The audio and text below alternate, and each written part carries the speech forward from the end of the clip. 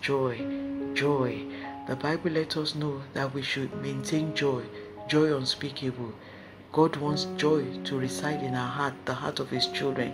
The song goes, I've got joy unspeakable and full of glory, full of glory, full of glory. I've got joy unspeakable and full of glory, like the world I've never seen before. That should be your joy because Christ died to give you everything.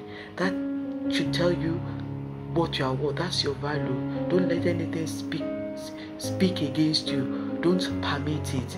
You speak the blessing of God upon your life, and out of your belly will flow rivers of living water that translate to joy. Just make sure that you are joyful because around that such atmosphere, you attract the Spirit of God. Where the, there is joy, there is miracle. Where there is joy, anything beautiful happens. And I want you to know that it's the fruit of the Spirit. It must be seen in you as a child of God. Consciously ensure that nothing steals your joy. Stay blessed and bye for now.